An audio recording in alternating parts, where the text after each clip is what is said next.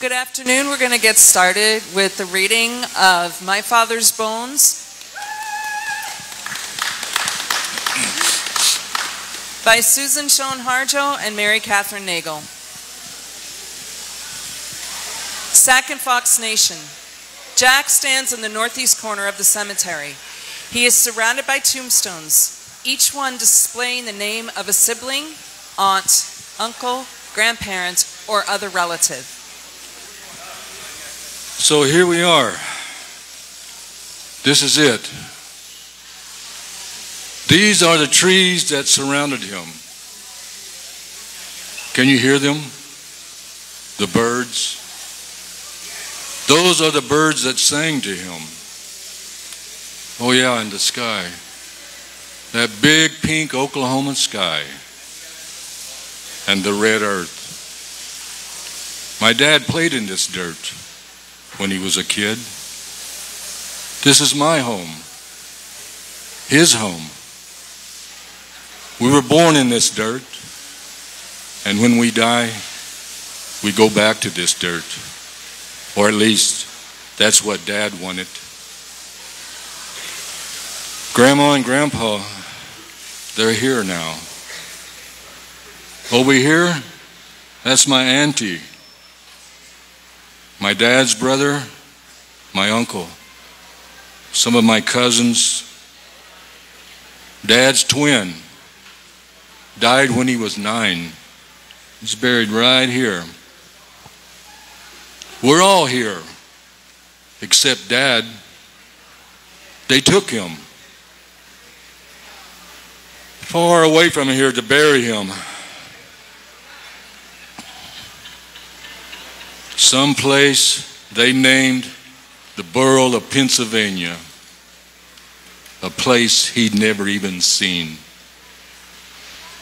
My dad, you may know him, or maybe you think you know him. Sure, he was famous, and yeah, he won some gold medals at the Olympics, but that didn't change who he was. To my dad, he was always Sac and Fox, ThunderClan of the Sac and Fox Nation. That's one thing you should know about us Indians. We're no different than white people or any other kind of folks for that matter. We want to bury our loved ones with our loved ones, with our mothers, our fathers, and our brothers. I spent years trying to bring dad back. I begged. I pleaded. I prayed. And when that didn't work, I did what you non natives do all the time I filed a lawsuit. Steve Ward and Bill Enter, Tulsa, Oklahoma, February 2015. We lost. How is that possible? Appellate court says Judge Caputo got it wrong that the, that the Native American Graves Protection and Repatriation Act, NAGPRA, doesn't apply. Because Dad wasn't Native American? No. They said the borough isn't actually holding his remains? No. They said the borough doesn't even receive federal funds? No. Well, what did they say? They said that applying the plain text of the statute here would lead to a result that Congress never intended. They think Congress didn't intend for us to win. Right. Under the statute, we win, but they applied the absurdity doctrine. What is the absurdity doctrine? It's a doctrine that courts apply when they don't like the result of applying the plain language of a statute. They call that a doctrine? I agree. It's absurd. I'll tell you what's absurd. A white woman can walk in, interrupt a native burial ceremony, take my father's body, and sell it, and a court will conclude that NAGPRA doesn't apply because to allow my father to be buried with his relatives on Sac and Fox soil is absurd. I know you're upset. We have to appeal. After the argument in the Third Circuit, you said if we lose here, we have the option of appealing to the Supreme Court. We do. But do you think we should? Indians lose about 98% of the cases they bring to the Supreme Court Then why do we keep bringing them? because there's no other choice. I told my brother I'd never give up. Okay, I'm just telling you, Indians don't have a good track record in front of the court. Dad always said he never saw a record he couldn't break.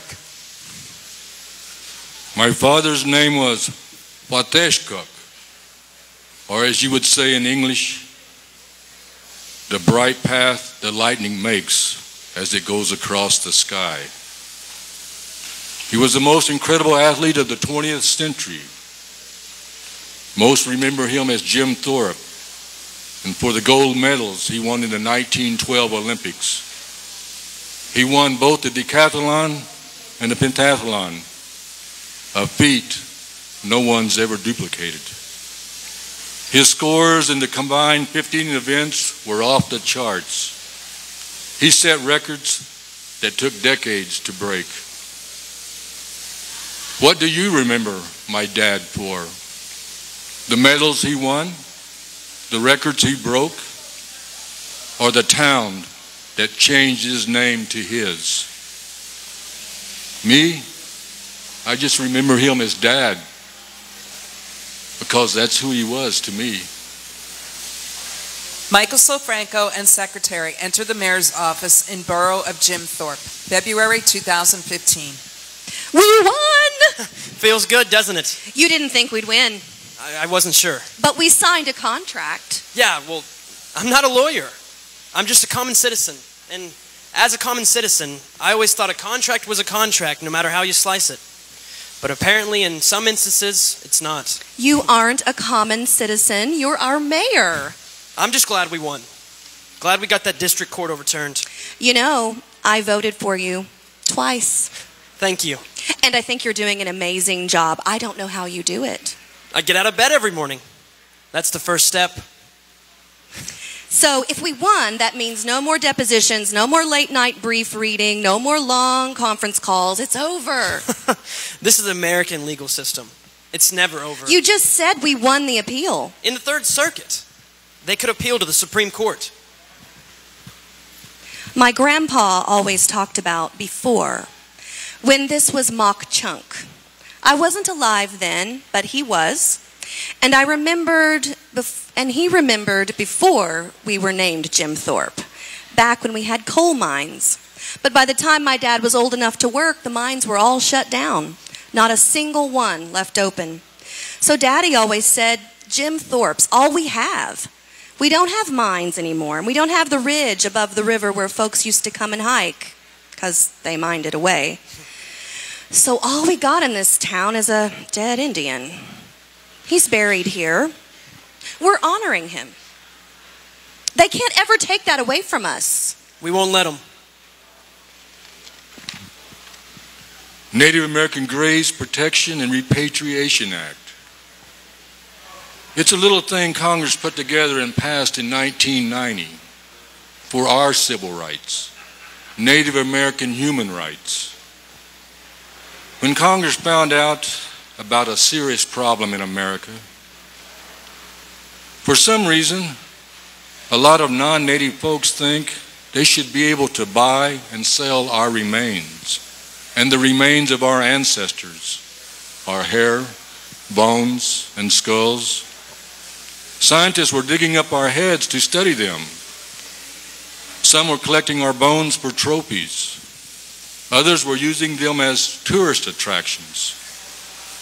But we're human. We're people.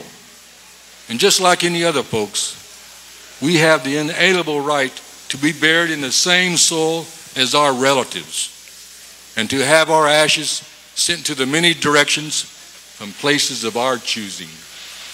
NAGPRA recognized that we have that right. And then this court in Pennsylvania denied us that human right. Have you ever had your deposition taken? I think it would be fun. Michael Sofranco enters and moves to the table with chairs. Steve Ward sits across from him. October 23, 2012, Lehighton, Pennsylvania. The court reporter sits, typing every word that's spoken. Mr. Sofranco, would you please state your name for the record? Michael J. Sofranco.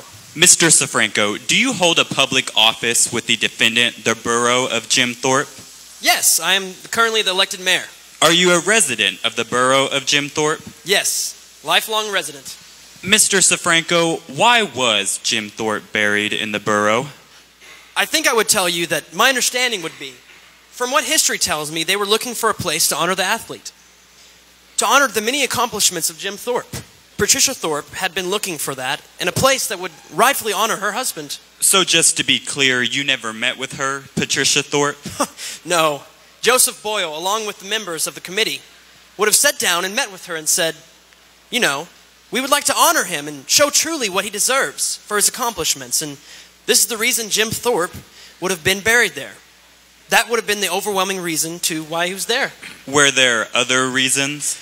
Obviously, the two towns coming together and to have one unified, one unified name would be a second reason because there were reasons the two boroughs needed to come together.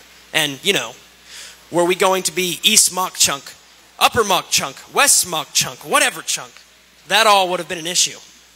I wanted to interrupt, So by having one common name for the entire borough would have been a second reason. but of course I didn't. Getting that together would have been, that all would have been the reason, yes.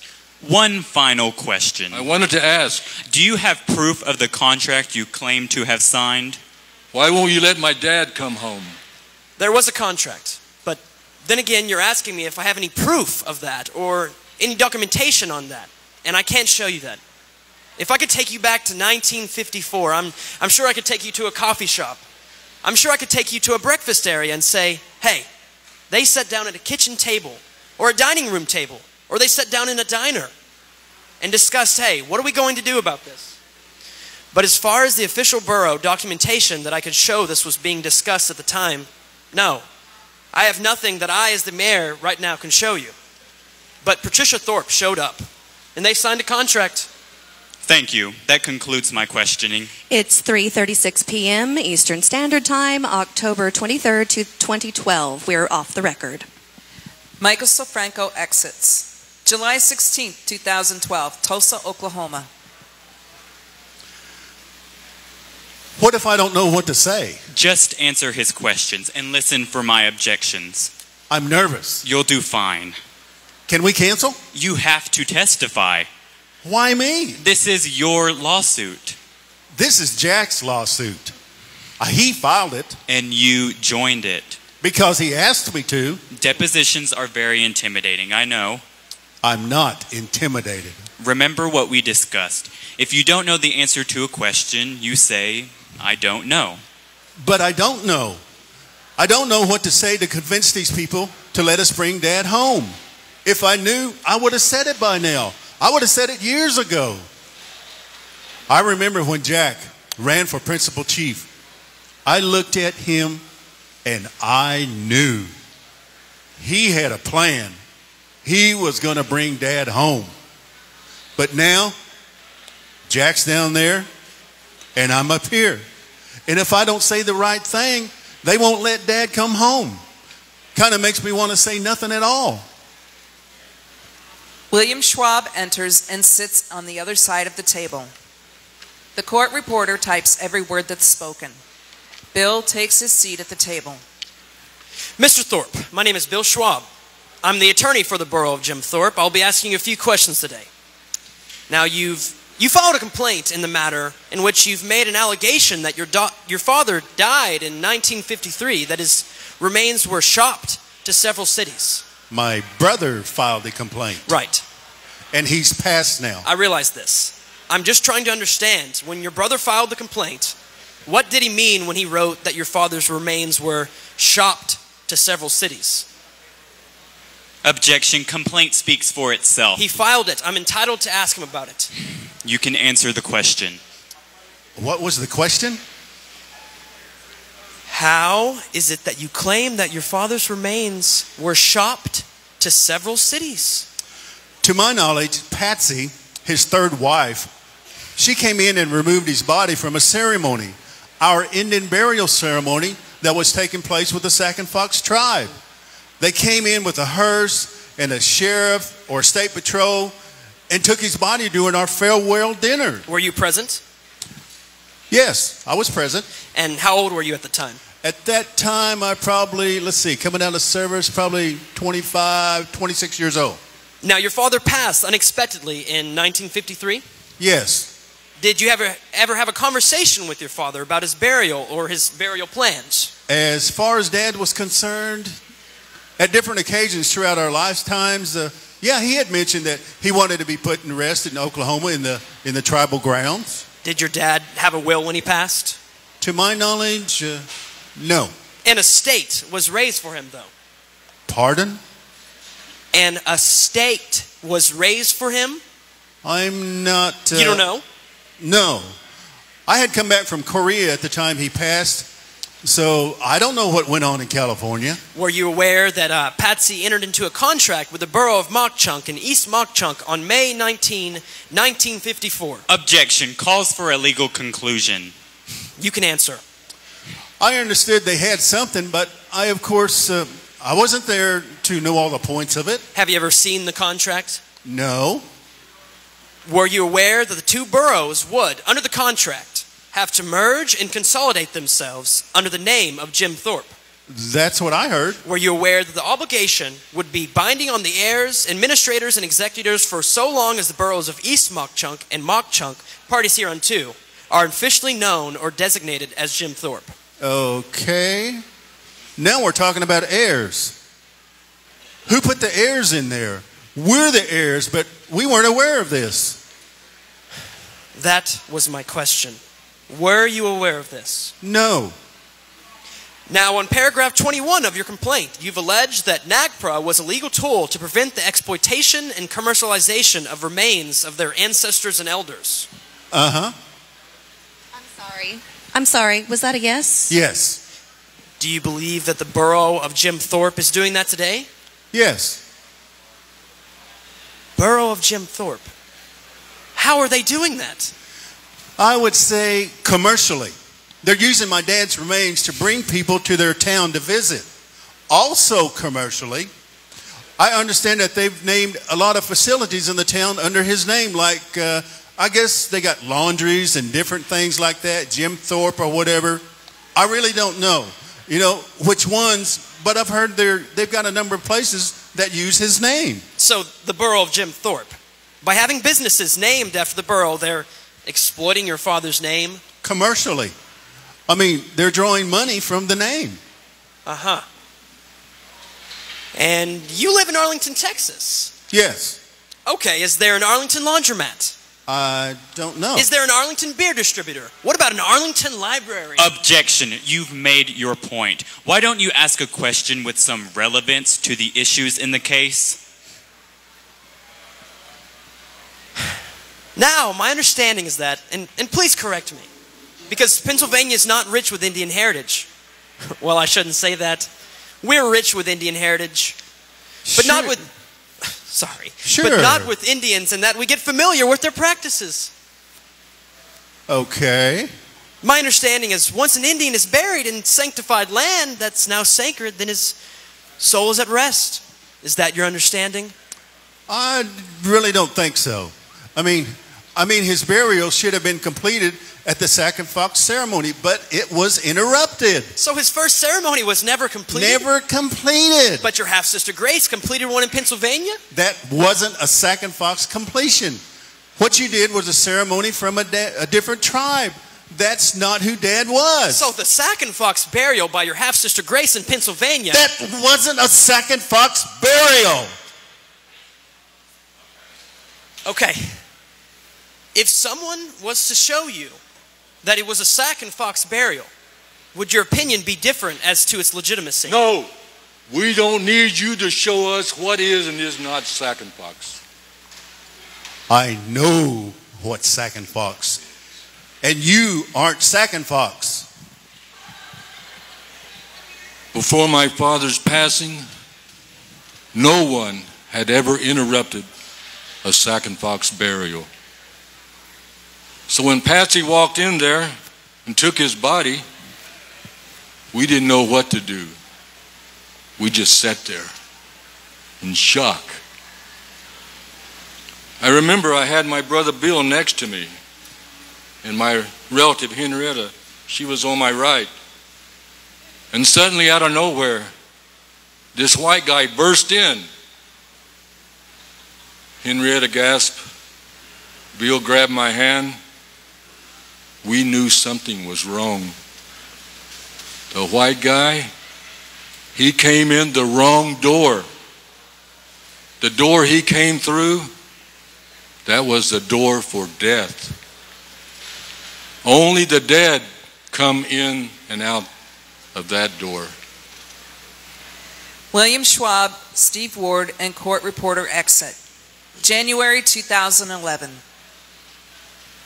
Hey, Bud, remember when Dad used to take us out back and play football? Yeah, just about every Saturday. Yeah, even in the rain. He always passed to you. He passed to you too. Yeah, but he always passed to you first. I was the youngest. Yeah, it's because he always looked out for the, the baby. He was the strongest man on the face of the earth. But if he saw someone weaker than him, he always stopped to help them.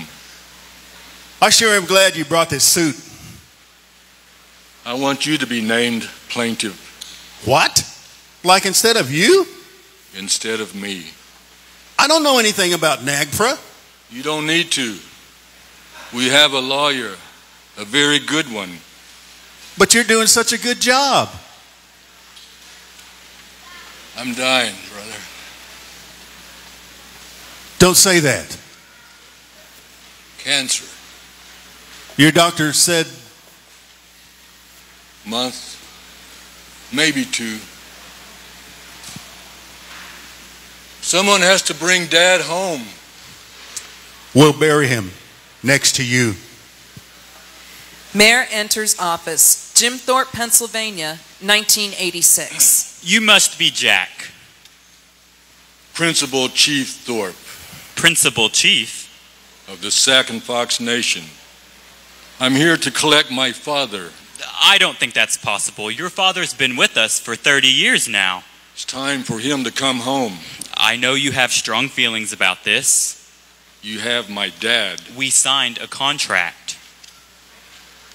He never signed anything. His wife did, and we lived up to our end of the bargain. He wanted to be buried in Oklahoma. That's about as American as you can get. He wanted to be buried with his family.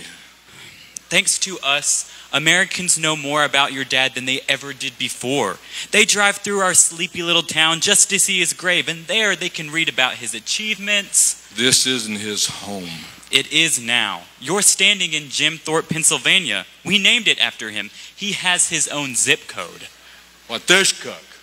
His name is Wateshkuk. What? May 19th, 1954. East Mauch Chunk, Pennsylvania. Mayor and Patricia Thorpe sit in a local diner sipping on two cups of coffee. How's your coffee? Fine. We don't have much in this sleepy little town, but this diner, it's something we're proud of. Lukewarm, really. Tastes like it was brewed yesterday. Uh, oh, well, we can't have that. Matt! It's, it's okay. no, it's, not. fine. Yes? Get our guest some coffee, real coffee, not your leftover pot of coffee. Yes, sir. He's new. I'm sure he hates his job. Well, I'm sure he loves it. This diner's one of the best places in town. A lot of guys wish they could get a job here. At a diner? Look around you. There's nothing else here. The mines closed, all of them, five years ago, and they employed our entire town. Without them, well, let's just say everyone around here's looking for a job. Matt's lucky he found one. Matt returns with the cup of coffee. He hands it to Patricia. Patricia looks at Matt. She sips. He exits. I have the contract here ready to sign. How much are you going to give me? You want compensation? I'm giving you his body. Yes, but we agreed to change our name. We're renaming our town Borough of Jim Thorpe. My husband's famous. Yes, I'm aware of his medals. So when you have your town named after him, you're going to make money. I think it's only fair that I get a piece of that money. Just a piece. Matt returns to the table with their breakfast dishes. He places the dishes on the table. I ordered eggs.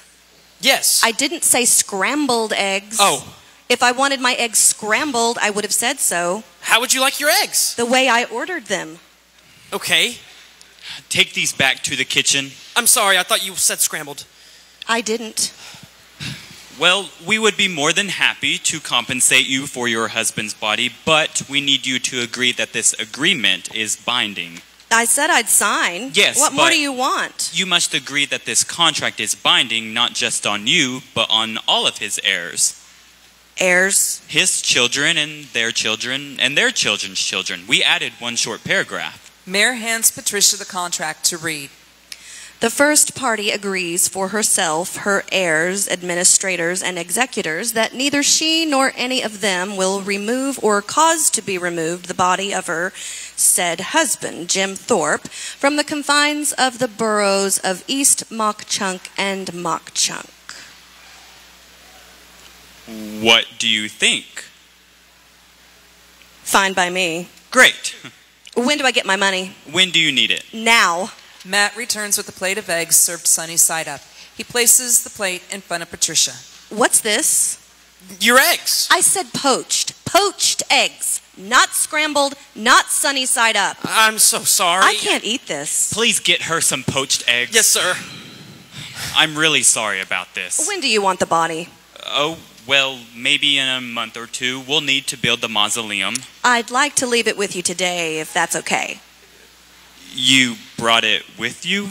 I'm done driving it around. Uh, okay, I'll call the morgue. I'm sure we can find some space. The biggest mistake I made in my life was marrying an Indian. My mother warned me. She said, Patsy, don't marry that man. Once a redskin, always a redskin, even when he's famous. But I was stupid. I thought it would be glamorous. I thought we'd eat oysters and drink wine and watch the sunset on the beach. But I never got to enjoy any of that. No, that son of a bitch never made me a dime. I'd tell him, You're famous, Jim. People love you. You have fans, millions of them. You've won gold medals, for Christ's sake. Go put your face on a billboard. Uh, sell some soap or cars or beer. We could have been millionaires. But did he care about making money? No. That's not important to me, Patsy, he used to say. Sure, not important to him, but what about me? I deserve this. He's not going to leave this world without giving something to me. Matt returns carrying a plate of poached eggs. He sets the plate down in front of Patricia. Patricia looks at the eggs. She looks at Matt. She smiles. Thank you. Mayor places the contract in front of her and hands her a pen. Patsy smiles. Sac and Fox songs fill the air, along with the sound of drumming. Jesus sa kimamo humene. Jesus sa kimamo humene. Niana hey ne. Jesus sa kimamo humene. The Sac and Fox Jesus sa burial ceremony lasts four days. The fourth day is important. That's when the elders hold the name return ceremony. We have two spirits. We have our big spirit and we have our little spirit. And when you pass, an elder gives your little spirit a name.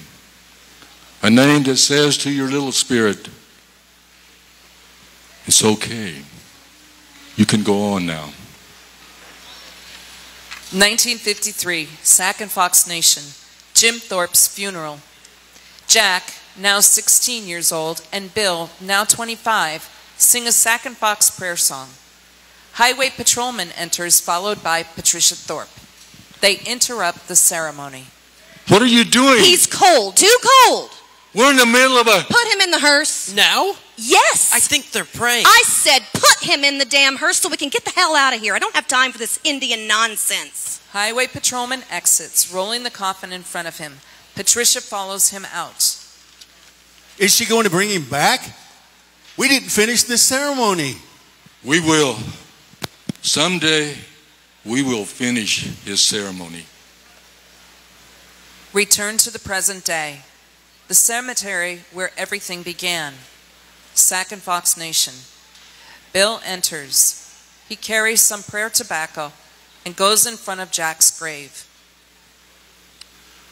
Some prayer for prayer tobacco for you, brother. I guess you know by now we lost in the appeals court. I don't know what went wrong. I really thought for a minute there we were going to bring dad home. I'm sorry, Jack. You're here. Dad's still in Pennsylvania. This isn't the way things were supposed to be. You weren't supposed to be here before dad. We're going to appeal to the Supreme Court. I'll never give up. I promise. Someday we'll bring dad back. Someday, We'll, We'll finish, finish his, his ceremony. ceremony. The end.